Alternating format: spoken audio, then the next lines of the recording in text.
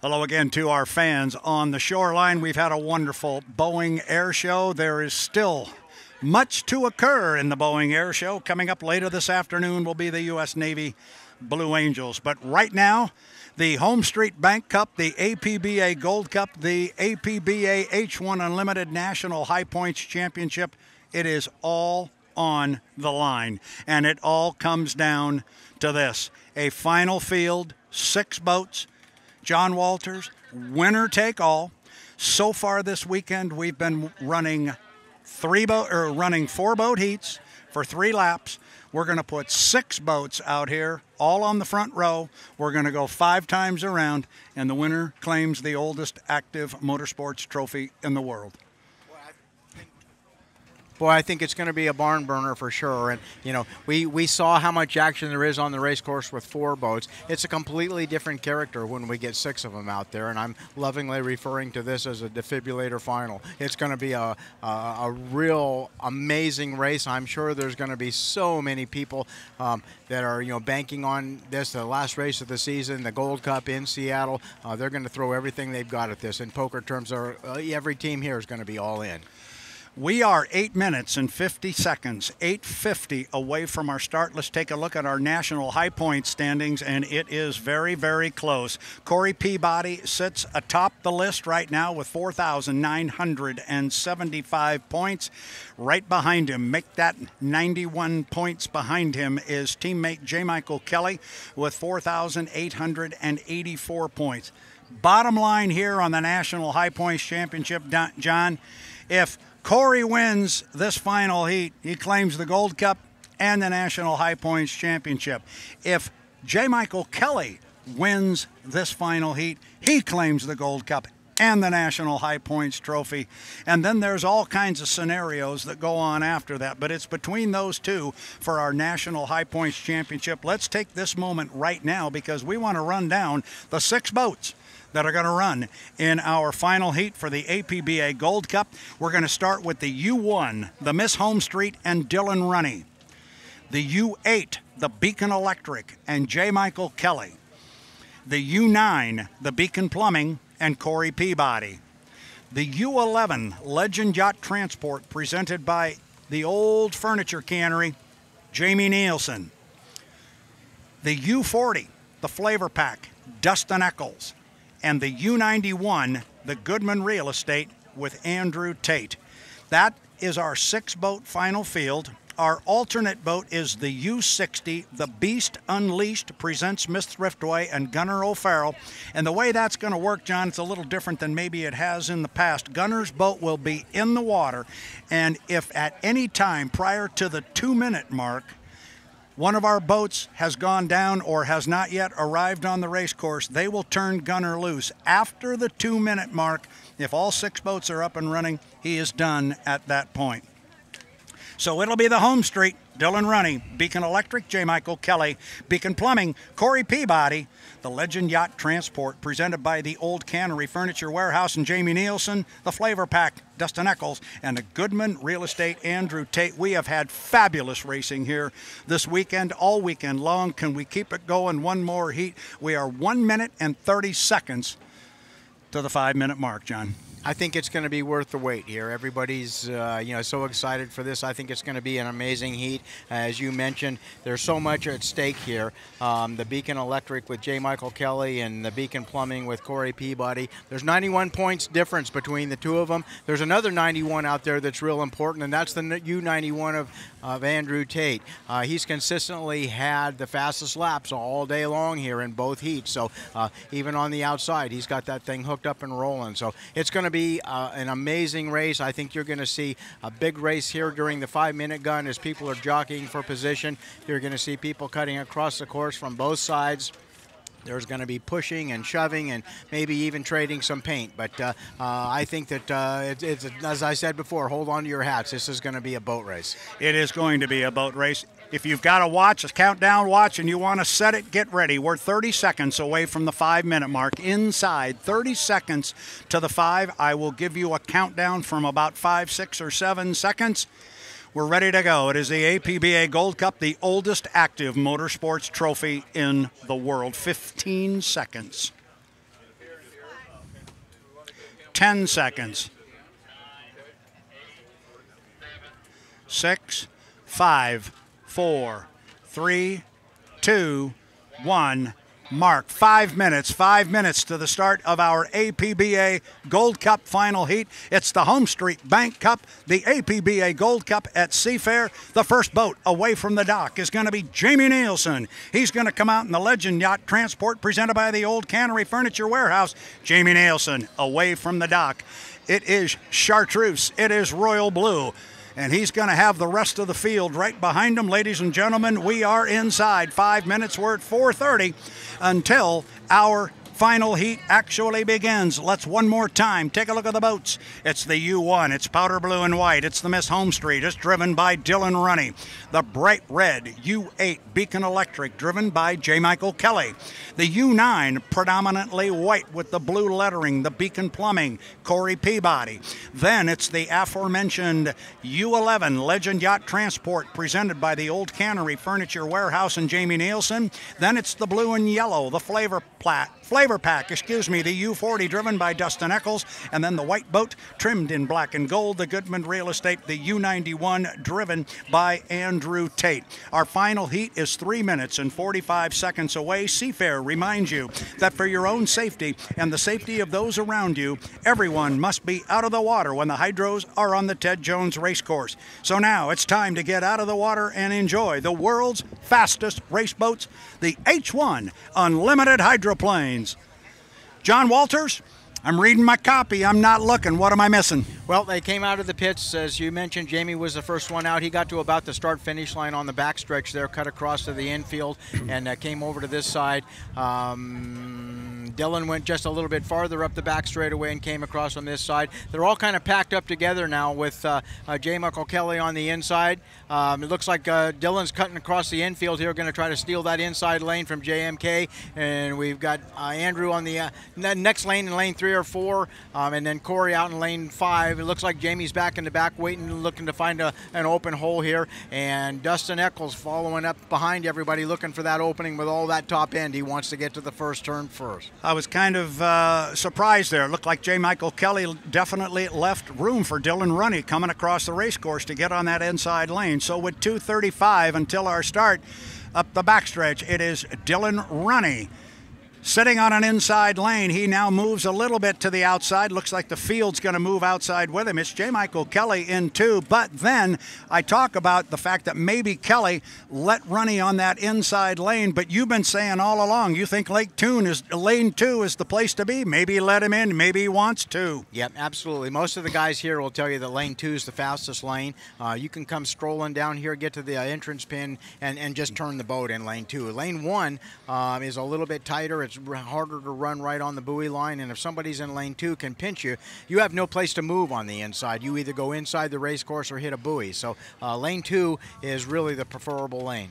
Well, and at the top end of the race course, Dylan Runny went way wide, and J. Michael Kelly actually moved to the inside. But now it appears Runny has tightened it up a little bit, and JMK has let him go in there, and Kelly has moved back to the outside in lane number two. Andrew Tate finds himself right now sitting in lane number three. Then it is the Beacon Plumbing, Corey Peabody in four, Jamie Nilsen in five. Dustin Echols is on the far outside. I like where they are, although maybe Kelly and Runny might be a little bit early. John Walters, you want to be at that apex at the one minute mark. We're not yet to 110, although we're there now. Yeah, you sure do. And and uh, Dylan's re- working real hard to try to get the inside lane here. And I, you know, the way they've run this weekend, I think they need the inside lane to be competitive here. Uh, J. Michael Kelly Kelly has got enough boat speed, uh, enough experience that I think he can get a little deeper run at it, and, and he can win from lane two. Uh, but the, the one I think you really need to keep your eye on there is in lane number three, and that's Andrew Tate. Uh, Andrew's boat is accelerating extremely well. Um, he's able to fly that thing into the wind here better than um, than than most people would give you even credit that, that is even possible to do. And uh, you know he's been managed to not only fly the boat but keep his foot on the throttle at the same time and not really give up you know any speed there. Where the other boats have gotten badly out of shape, they've had to back off the throttle and they lose a lot of time there. I think we got a couple of boats up there early, and certainly Dylan Runny is one of them. I think Kelly might be a little bit early. We're at 20 seconds right now, and they're already coming off the top end of the race course. I think Runny's going to have that inside lane, but he may have overpaid for it. Then it's going to be Kelly in two, going to be Tate in three, Peabody in four. It's going to be Echols on the outside. Nilsen's going to be in five. We are five, four, three, two, one. Mark and Andrew Tate did not break the clock. Dylan Runny did, but it was Tate with the boat speed from lane number three or four. And then on the outside, it was Dustin Echols who's going to turn left first, come out of there. It is Andrew Tate. He comes off the corner first, but he's got J. Michael Kelly right with him. Kelly hooked just a little bit as he got to the exit pin of the corner, and Andrew Tate was able to open up a little bit on him. Now Kelly's got the boat straightened back up, and here comes J. Michael Kelly. The start is legal. They are really rolling hard. Somewhere in that mess, and it's back in about fourth place, is Corey Peabody to the exit pin at the top end of the race course. On the outside, coming from lane number three, it is Andrew Tate in the 91, the Goodman Real Estate. Look at the Flav-R-Pac on the outside with Dustin Echols as he flies it across start finish line. Remember, fans, we go five times around. Corey Peabody is definitely back as Dustin Echols flew the Flav-R-Pac as they got down to the lower end of the race course. Oh, have we got one hooking up here? Good. It is Andrew Tate on the outside. He's got about three boat lengths on J. Michael Kelly. This is turning into a very good two boat run, John Walters. But right now, Andrew Tate starting to open up a little bit of water on J. Michael Kelly.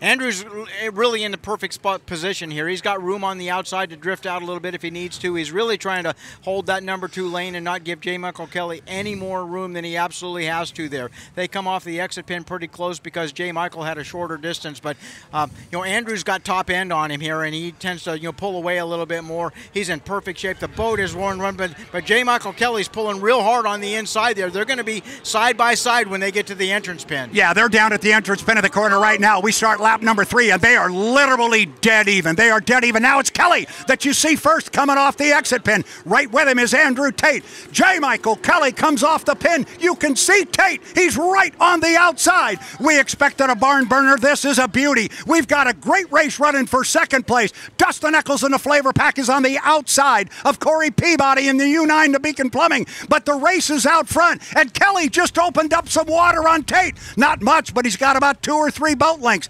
Exit pin off the top end of the race course. The Gold Cup is on the line. The National High Points Championship is on the line. And Kelly has opened up a little bit of water. They'll put three in the books with two more to go. It is J. Michael Kelly and the Beacon Electric Johnny's opened up water. He has, and, and Andrew's really fighting with the wind at this point in time. He's really trying to work hard to keep that boat settled down. In the meantime, you know, J. Michael is, is out front and pushing hard. He's actually stretching the lead a little bit. He's picking up a little bit of room every straightaway here. Uh, they kind of hold even with each other going through the turns, but uh, the, with all that water in the air, it's hard to see, you know, exactly what, what's going on with Andrew over there. But he's losing ground.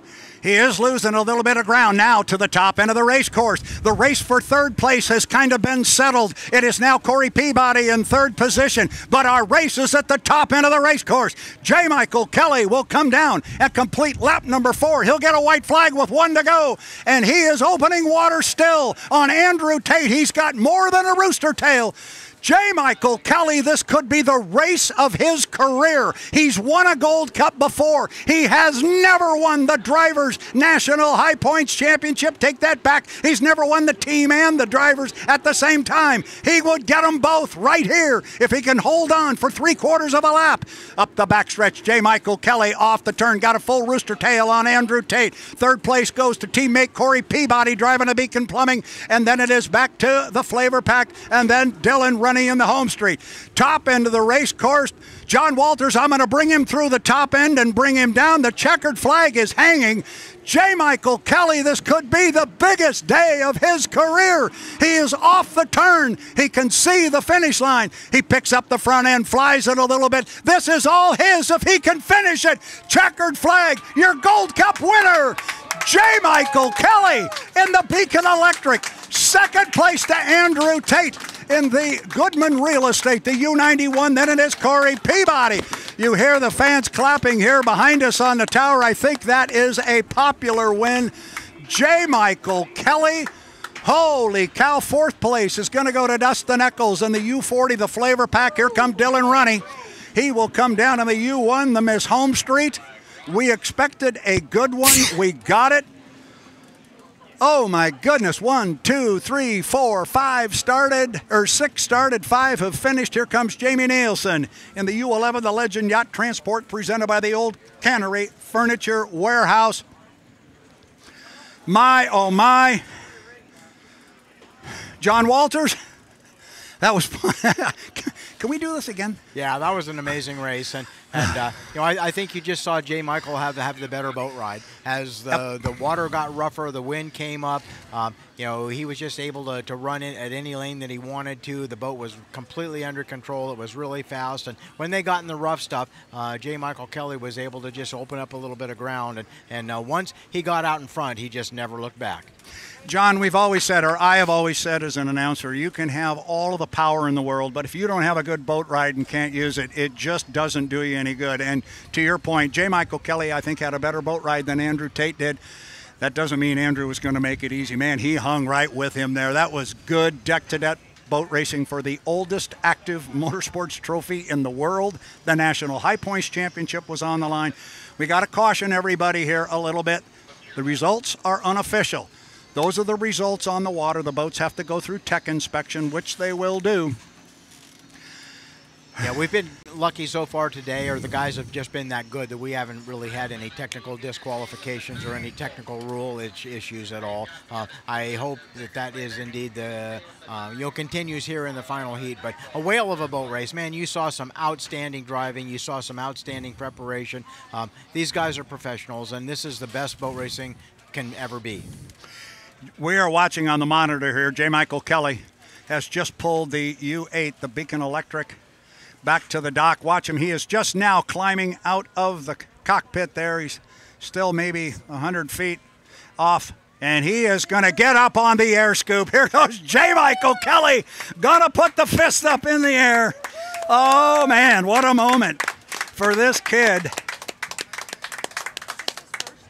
No, uh, the question was, is this his first Gold Cup? No, he has won a Gold Cup before, but this time, if everything stands, he will claim a driver and a team national high points championship, which is the first time he will have won both, and he will etch his name for the second time on the oldest active motorsports trophy in the world. Wow. A big day for JMK. And honestly, John, we talk about tech inspection and all that. I really do hope it stands. I, let's decide this out there on the water. I totally agree, and uh, you know, I, I, I really hope that that is indeed the case. These guys have been really good all day long. There haven't been a lot of you know problems or uh, that. The temperature's been you know pretty consistent all day long, and I think that uh, you know we'll get the stuff through um, the. Uh, uh, tech inspection here, uh, get them back on the trailer, and everything's going to be okay. And there's the first crew member on board the U8 as Mike finally got back to the dock. And as you might expect, a lot of hugs and handshakes. And of course, the hug and the kiss from the wife is always the most important, and he can check that box.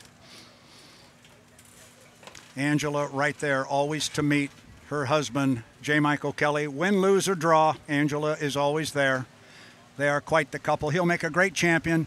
He has before, he will again. Absolutely. And, you know, there was a, uh, it looked to me like, you know, in, in the last in the first turn here, exiting the first turn between the apex and and uh, the exit of the first turn here in lap five, um, they got really close together there. And I don't know if Andrew got wet right there, uh, and maybe that's why he had to backpedal, or or it uh, you know caused him a, a, little bit of hesitation coming off the turn. But that's when JMK really opened up the distance in that last lap and just kind of drove away from Andrew going down the back straightaway. So um, we'll see if there's any kind of a call or any kind of an issue there. It looks like they're they're talking about it now and they will talk about it. It's a it's a big prize. It's worth talking about. But as I said earlier, and just from a fan's perspective, a it was a great show. B I hope it all stands as we saw it out here in the water. Let's decide it out there. Yep, I totally. And agree. then uh, everybody can shake hands and congratulate once we're on shore and in the pit area. It's the 2023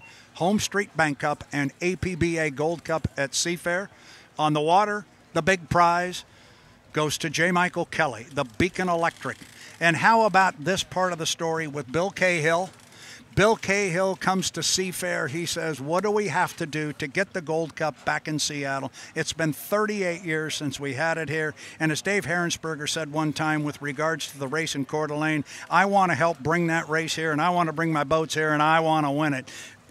Right now, it looks like maybe that has happened. This is a big day for JMK, but a big day for Beacon Plumbing and Bill Cahill, and we all owe him a big thank you. We do. Bill Cahill has been um, a real leader in this sport, and he's you know campaigned really hard to, to bring keep, continue to keep racing in Seattle, continue to bring the Gold Cup here, and and uh, it was his effort this year that, that made the difference, bringing the Gold Cup here to Seattle, and and everybody owes you know him and everybody involved you know a, a great deal of of uh, you know credit for that sort of thing. I mean, obviously everybody at Seafair, all the volunteers, everybody that works so hard to put this race on every year and make this a big part of you know Seattle history history, tradition, and all. Um, it's a wonderful thing, and a lot of people know Seattle because they come here for Seafair. Uh, same way with you know a, a, lot of these teams that are from you know the local area here. This is um, this is you know the capital, the boat racing capital of the world is Seattle, Washington, and and uh, you know it's named after you know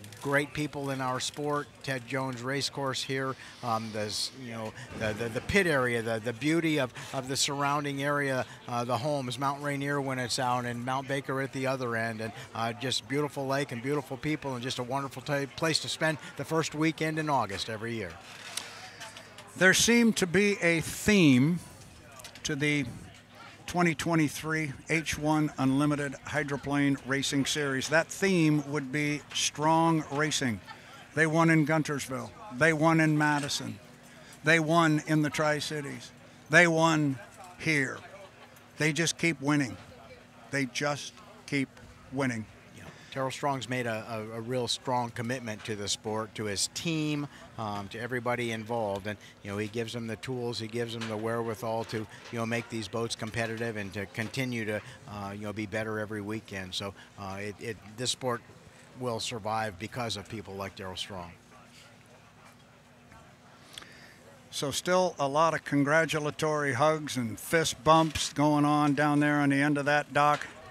Mike is clearly one very happy guy, as he should be. He's going to be a little bit nervous, I'm sure, until the word comes out of the tech truck that you're clean and everything is good.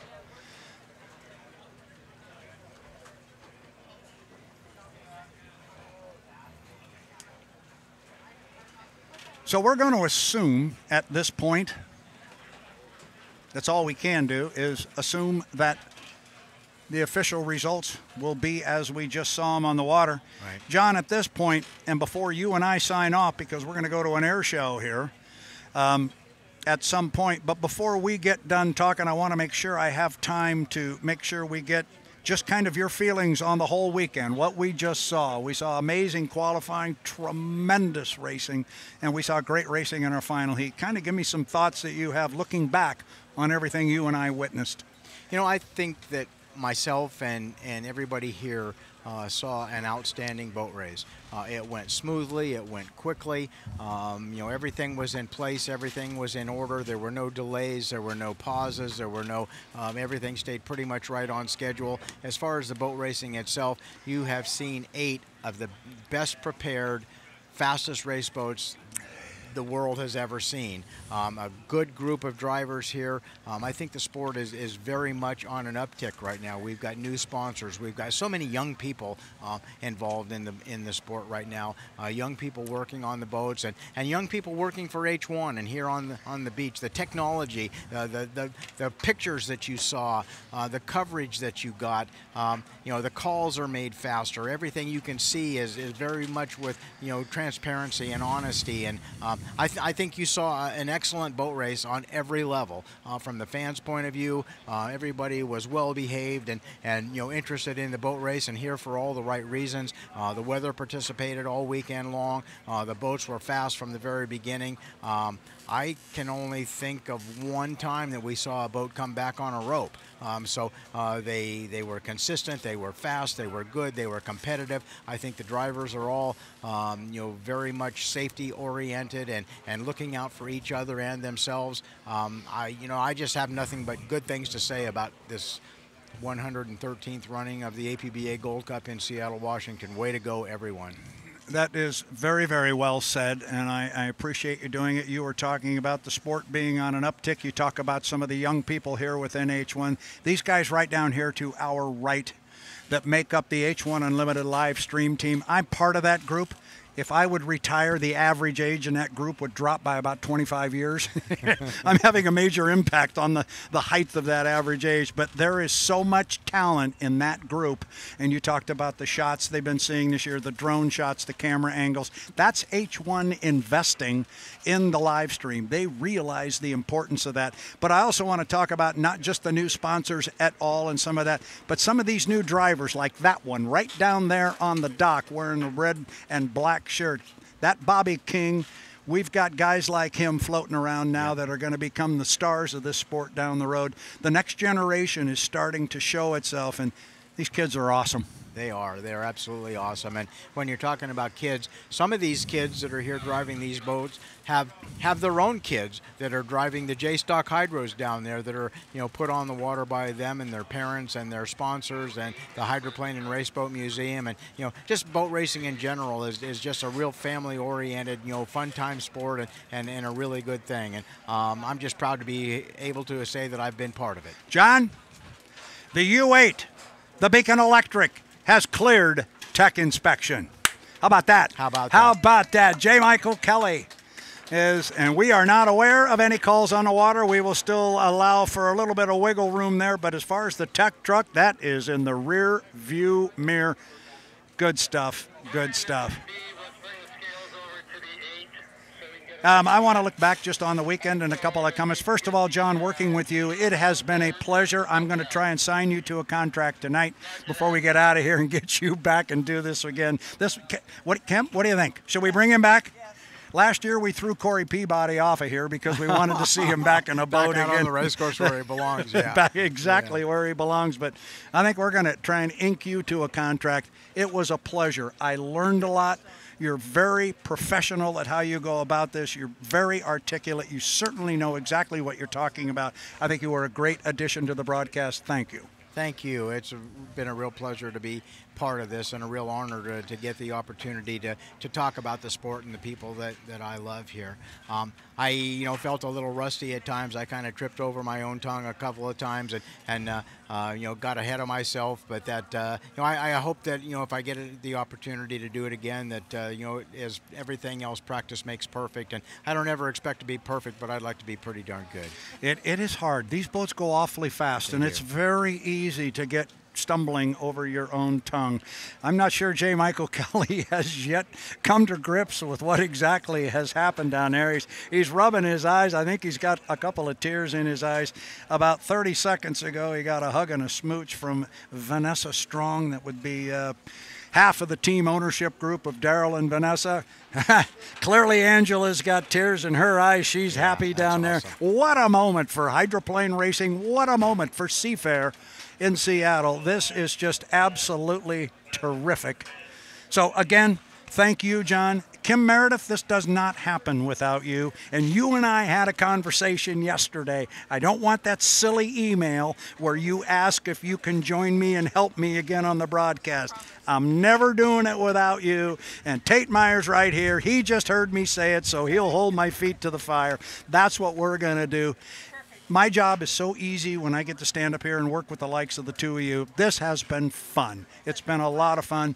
It has. As far as the racing and all of that, we promised good deck to deck, side by side racing. We did not Came through with that. disappoint. Yeah. Boy, you were talking about a knockout punch, and the next thing you know, we darn near had a photo finish here between between a couple of guys. It was great racing. And at this point, having said goodbye and thanked all our people, we are going to step away from the microphone, send it down to Mark Christopher. We had a great final. Can you top it? You're up with the air show, my friend. Take it.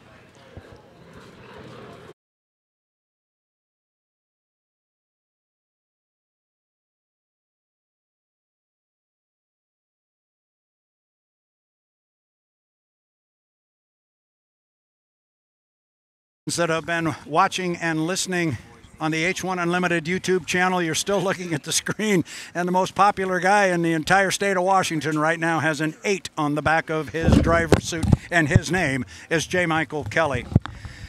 I hope you have enjoyed our broadcast as much as we have enjoyed bringing it to you. On behalf of Brad Luce, John Walters, Kim Meredith, I'm going to basically sign off from us talking, but I'm not doing it until I talk about the group down here on my right. The H1 Unlimited live stream team is absolutely the best team on the planet. I am much older than all these guys and gals that are involved. They let me be a part of what they do, and what they did this year is nothing short of amazing. If you have enjoyed watching the live stream and the drone shots and the close up views and the interviews and everything that the H1 Unlimited live stream team tried to do to make it better. And I'm just going to say this online to everybody let us know. Let that live stream team know because there is so much talent down there. They are absolutely the best. And I point to the guys at the right, but there's a bunch of them upstairs. We have to include Nick Kish into all that at some point, or he'll get mad at us. But Jared Meyer down there running around the pit area with cameras. We got Matt Johnson here. We got Tate Meyer. We got Jared Meyer. We got Nick Kish. And we've even got a few others that aren't really part of the live stream team, but we let them get on the phone with us every Sunday night and we hash out the problems. I've gone too long. The H1 live stream team rocks. I hope you enjoyed our season. I hope you enjoyed our series. Please do me personally one favor Come back next year, bring a friend. Let's do it again. For H1 Unlimited at the APBA Gold Cup in Seattle, this is Brad Luce saying so long. We'll do it again next year.